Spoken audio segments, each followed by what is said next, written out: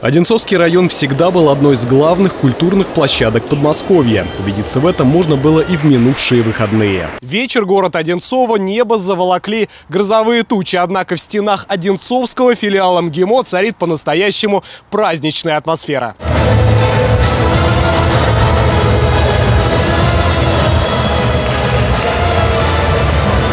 Свыше 600 пар из 20 регионов России, судьи и спортсмены из 14 стран. Такими запомнят международные соревнования по танцевальному спорту «Серебряный олень-2017». У нас сегодня красивая премьера, и э, я разговаривал с коллегами, слышал очень много приятных отзывов. Я надеюсь, что это соревнование станет традиционным и будет с каждым годом э, расти, расти, расти, расти. Участники выступали в разных возрастных группах. Самым младшим спортсменам всего 7 лет. Судейством занимались профессионалы международного уровня. Спортивные танцы, они э, состоят из двух программ.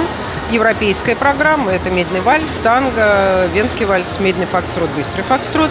И латиноамериканская программа – самбо, ча-ча-ча, румба, пасадобль, джайв. Первый день соревнований свое мастерство показали люди с ограниченными возможностями здоровья и ансамбли народного танца. Нам приятно, что ведущие пары Московской области, Москвы, Центрального федерального округа, чемпионы Европы в 10 танцах, а, несколько чемпионов своих стран, а, призеры Кубков России принимали участие в этих соревнованиях.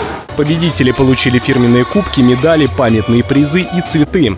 Юниоров порадовали яркими детскими сувенирами. Святослав Савенков, Артем Ломоносов, телекомпания «Одинцова». Большое спасибо.